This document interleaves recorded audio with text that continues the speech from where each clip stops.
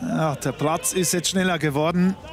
Das sieht man für diesen langen Ball. Gesson.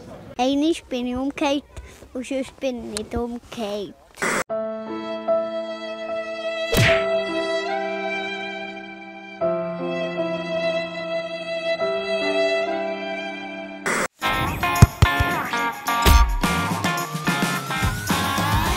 Für alle die, die sich während Corona nach einer Party sehnen. Die FCB-Fans zeigen, wie man trotz der aktuellen Fallzahlen eine fette Party feiern kann.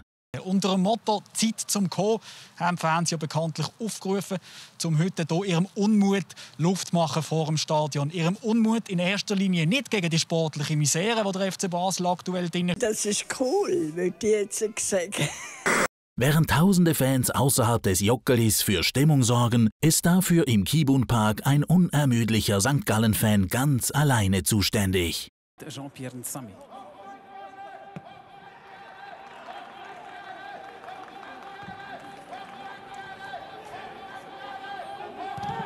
Ja, das ist interessant, da läuft etwas. Die Quelle des Lärms. Etwas Stadionatmosphäre. Normal ist ja da nicht, oder? Aber es gibt immer wieder, es sind halt auch nur Menschen, oder? Zuständig für knackige Analysen ist im Studio der Experte Rolf Ringer. Dass er in der Berichterstattung ab und zu mal vorgreift, stößt Gianni langsam sauer auf. Dann ist man nachher auch nicht so enttäuscht, wie es St. Gallen leider auch sind.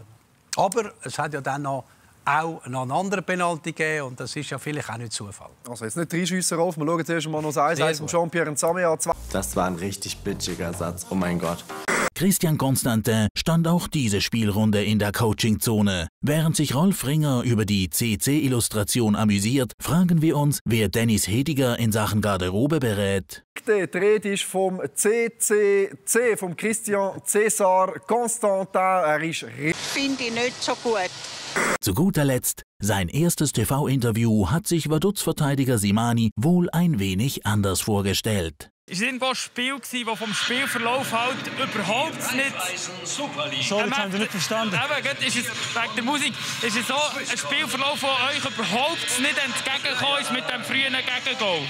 Ich verstehe dich gar nicht. Nein. Ja. ja. Boy.